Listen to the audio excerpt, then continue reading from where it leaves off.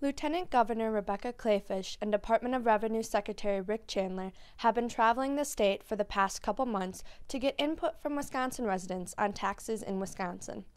Recently, Kleefisch sat down with the MacIver Institute to discuss what people have been telling them.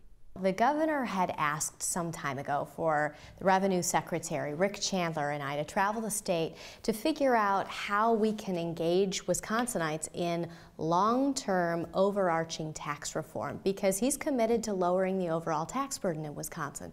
What we've heard with great consistency now two themes. One, taxes are just too complicated in our state. Number two, probably doesn't surprise you and certainly didn't surprise the governor taxes are just too expensive.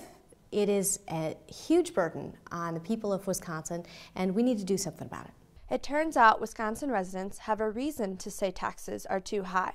Right now, we're looking at a tax burden that is number 10 in the country. We're number 10 in property tax, 12 in income tax, 35 in sales tax, but unfortunately, that puts us on the top 10 of a bad list. If you average all those together, Unfortunately, we are number 10.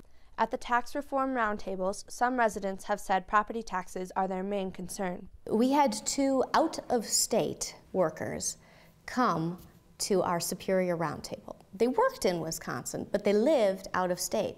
They chose to live in Duluth instead of Superior, despite the fact that probably would have been far closer for their commute. However, the property taxes made it nearly impossible for them to sell their homes and move here across the border to Wisconsin. Others, however, would like to see a lower income tax rate. We need changes for people like the mom in Platteville who was sitting about three seats down from me who said, I've raised a really bright boy. My son is in Shanghai, he's in finance, and he wants to come back to the United States. But when he looks at the different states where he could move and be successful, he looks at the seven states that don't have an income tax. Kleefisch encouraged Wisconsinites to go online to give their input on tax reform in the state and how best to lower the tax burden while keeping government spending in check. Out of these tax reform roundtables and this web table at www.taxreform.wi.gov, you are going to get the ideas on driving down the tax burden.